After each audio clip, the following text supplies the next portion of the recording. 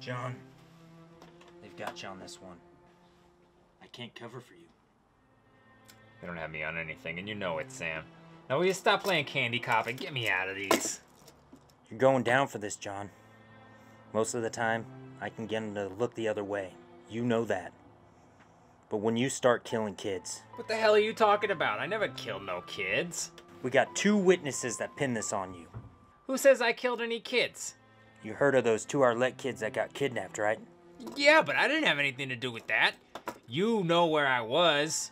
My words don't mean shit when the nanny and butler both tag you near the kids the day they were kidnapped. Now that they found their bodies, not much I can do for you. You know where I was, Sam.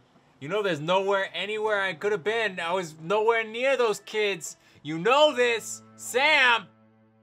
Sam! I know that, John. But unless you tell them where you were and what you did, this is getting pinned on you. The city's out for blood. You just happen to be the donor. You have to figure out what you want to go down for.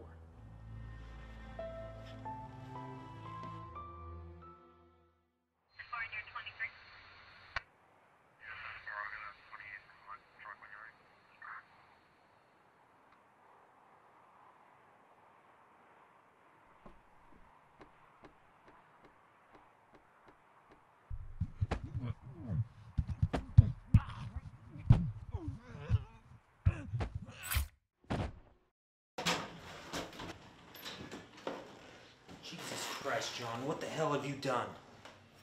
You owed the wrong people money for too long. Now his debts have been repaid. Gotta bring you in. I'm bringing you in. I never knew you to be a funny guy, Sam. But that's a good one. I'm serious. What do you want me to say about this? That you fell on a knife four times?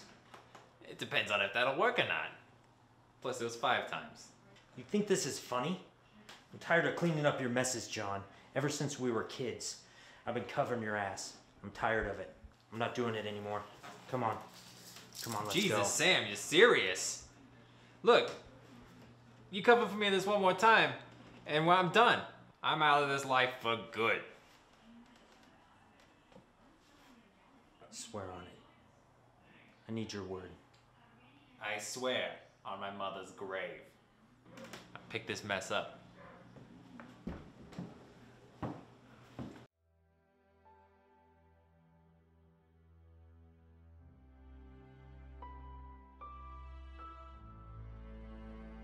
So what do you say, John?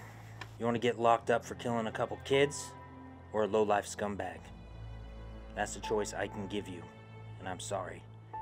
You've run out of time. So this is how I'm going out, huh?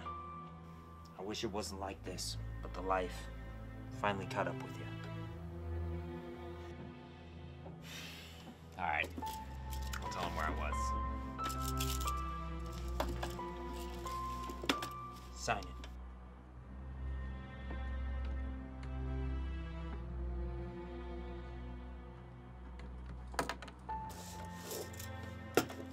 So that's it then? That's it, John. Come on, let's go.